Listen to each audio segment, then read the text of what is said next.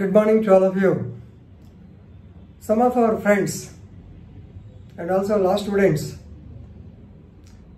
asked me to make a video on this uh, Narayan Rane minister, central minister's incident with the doubt that how can a central minister be arrested without intimation to the speaker? Then what about the constitution? What about their powers? All these things, uh, it's a mm, uh, confusing question for them. So clear to clear all these things, I am making this video. Right. So actually, yesterday, the state of Bombay, state of Maharashtra, we can say, the state of Maharashtra, it has assured the Bombay High Court that they will not take any coercive action against Mr. Rane in the other three FIRs. So this you can read in the case of uh, Narayan Tatu Rane, Narayan Tatu Rane versus State of Maharashtra in WP number 3033 by 2021 dated 25 8 2021. Two judges, Mr. Shinde and uh, Jamdar, they have uh, inquired into the matter. Of course, uh, let us go into the details of the case first better. So you all know that Narayan Rane, he was the chief minister of uh, state of Maharashtra in the year 1999. Of course, he was a Congress chief minister. Then he switched on to, uh, I think from Shiv Sena, he switched on to Congress. Now he has, uh, in 2019 or uh, 2019 elections, I think uh, he switched over to BJP. Presently, he is a Rajya Sabha member and a minister for uh, small industry, small, medium and MSME. So for that he is the minister. He is a Rajya Sabha minister. He is a Marathi leader. Previously, he was a ferocious uh, Shiv Sena, young uh, boy, supporter of Bal Thackeray. Right. But presently, he is a BJP man. Uh, he is a BJP MP and uh, presently he is the minister. On 17th of July, August, he made a statement derogating uh, in the view of the other people. It is a derogatory remark uh, on the present chief minister of uh, state uh, by name Uddhav Thackeray. So he said, stated that Mr. Uddhav Thackeray, while delivering his speech on August 15th, he was confused as to which year of independence. Is it 75th year or 74th year? Then he has to ask his uh, some of his colleagues and then only he has got information. Suppose if Mr. Narayan, Narayan, uh, uh, these uh, Rane, Narayan Rane was present, he would have slapped him because he didn't know. Even the independence uh, years, independence day, one should know. He must be, uh, he must have the national spirit, is it not? So, had I been present, I would have slapped him. That is the words he has used uh, in a public meeting. So, immediately it sparked like wildfire. So, definitely there are so much differences, political differences, political uh, uh, this uh, rallies, either for and against Narayan Rane and supporting Uddhav Thackeray. A lot of things happened. So ultimately, you may be knowing, Mr. Narendra Modi, he has asked all the newly uh, elected or newly appointed ministers uh, to go for Jan Ashirwad Yatra because uh, to tell them that he has taken charge. So he is conducting this uh, Jan Ashirwad Yatra. So while so on, uh, you all know that uh, 24th uh, he was arrested in Mahad area in Ratnagiri district I think. He was arrested there. So an FIR, actually four FIRs were registered against him. The sections are 153B, 153B uh, subclass 2 I believe, 153 subclass B and C also.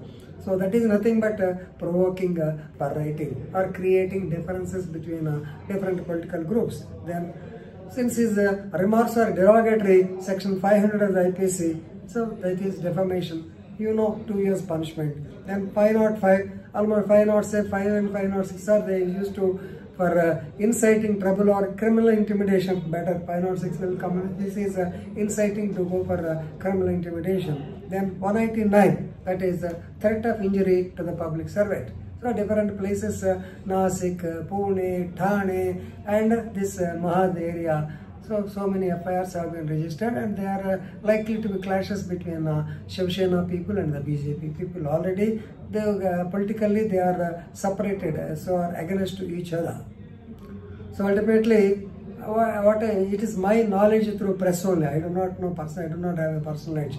Mr. The Transport Minister, he has uh, actually pressurized the police uh, to show the arrest of Mr. Raman Narayan Rane. So while he was taking lunch in a place in Ratnagiri district, uh, the police were surrounded him and the activists of uh, that BJP, they actually rebelled against them. Ultimately, the police took him into custody. And uh, here, the funniest part, three incidents, you have to remember that uh, judicially, the courts are not subordinate to each other. Yesterday, while discussing uh, the CPC, I told you, as per the CPC initial stage, section 5, I told you the subordination of courts. District, uh, so junior civil judge, senior civil judge, they subordinate to district judge, district judge to the high court. Like that we have told you. But here, judicially, they are not subordinate to anybody. They can issue any judicial order. Here, what happened is, first they approached the, actually simultaneously they approached, let us uh, go in a chronological way. They approached the district court. They have filed an anticipatory bail. Then district court rejected because 153, 500, 505, 105, 155, all of them are bailable offences. Anticipatory bail under section 437 can be, 438 can be filed only in case of non-bailable. Rejected. High Court, it did not also take, it is also rejected. Ultimately, what happened when this man was arrested and produced before the court, the magistrate, judicial magistrate, first class magistrate, he had put only one question. All these offences are below 7 years and 41A notice sufficient. Why did not give 41A? So there is no, because we are afraid that he will cause some trouble or something, they have written in the remand report. Ultimately, since all the offences are bailable nature and below 7 years, so he has granted bail. Please remember, lowest magistrate gave bail, district court rejected, then high court rejected. Of course, the matter has come yesterday on 25th before the court, uh, high court, and uh, before the high court, uh, they have, the government has given an assurance that they will not uh, take any uh, coercive action till September 27th, uh, to which date uh, the case has been posted. Now, the problem. This is all regarding the IPC sections and the provisional part. Now, what about the, the main doubt? Can a minister be arrested? That too, a central minister be arrested. Please remember section 22A of the, normally we call it as business rules.